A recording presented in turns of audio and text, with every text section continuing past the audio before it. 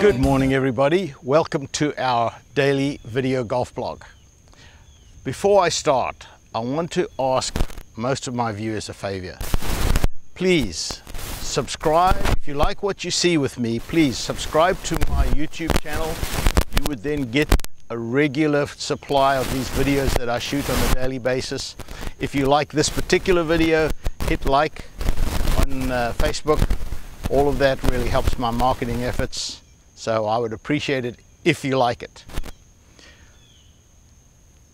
Today is Wednesday, the 1st of August, 2018. And on Wednesdays we do rules and etiquette.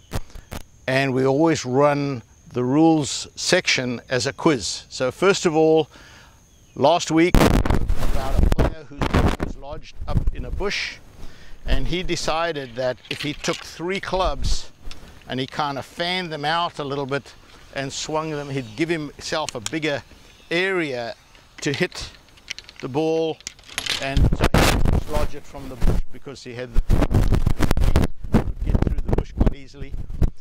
The question to you was, was that legal and if not, what was the penalty? Well, the answer is no. You make, uh, according to Rule 14, 1A, a stroke is made with the club head, singular club head. And so by using more than one club, you're in breach of that rule. There is a two-stroke penalty for breach of that rule. So our winner, I haven't been able to announce the winner for quite a while because my webmaster's been away. He's back. We can now announce these winners again from now on. Our winner for that particular rules question is Hoppy Ancaro from Virginia, from uh, Richmond, Virginia. And uh, congratulations, Hoppy. You gave me the right answer, the right amount of penalty strokes. So you win a one hour lesson at the Mel Sole Golf School. Next time you're in the area, come and see me. I'll be happy to help you with your game. This week, I've got another interesting putting green. We spoke a little while ago about my former instructor here, Pat Hoffman, and he had uh, practiced his putting on a putting green on his way to the 10th tee, he stopped at the putting green and he, and he putted for a while. And I asked if there was a penalty. And the answer was no, there is not a penalty. I know that Pat got penalized for doing that by the South Carolina PGA. It was a wrong ruling. Pat should not have got penalized, but that happened a number of years ago, so you know it's too late now. But I've got another putting one for you here. So um, a and B are partners in a four-ball competition.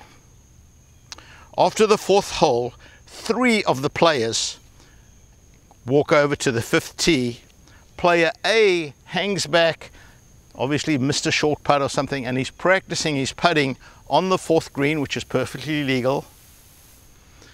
But his partner, player A, they had the honor, walks up on the tee and tees off while player A is still practicing his putting on the fourth green. So my question to you this week is, what is the rule and what is the rule for both stroke play and match play? Would the player incur a penalty or not? So your answers please to melsolegolf at gmail.com. Remember, I've said this in the past, there's only one valid entry for this competition, which you win a one hour free lesson at any of our locations. I want you to send it to only through melsolegolf at gmail.com. So thanks for watching. Hit like if you like this. Subscribe to my YouTube channel. Learn the rules, improve your golf.